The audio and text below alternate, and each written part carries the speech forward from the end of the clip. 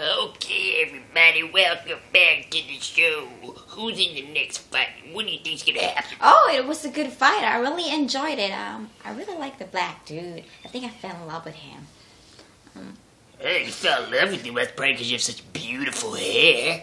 I mean, where'd you get such beautiful hair? It's like awesome. I mean, it looks like really, re- Oh, thank you for that. I got it from a gorilla hair. It's it's really uh it's really soft. Maybe Oh yeah, it looks softer, but it feels even softer. Maybe I could touch it and you could like show me how you. I know. I'm, I'm not trying to say I want to do anything weird. I mean, I'm a married man. I have kids, but it looks beautiful, and I'd like to touch it. Maybe. Do you want to let me touch it? And is it real, genuine gorilla hair, or is it synthetic? Like I, you know, you know. yes, it is. Um, yeah, I think you need to have a wig to.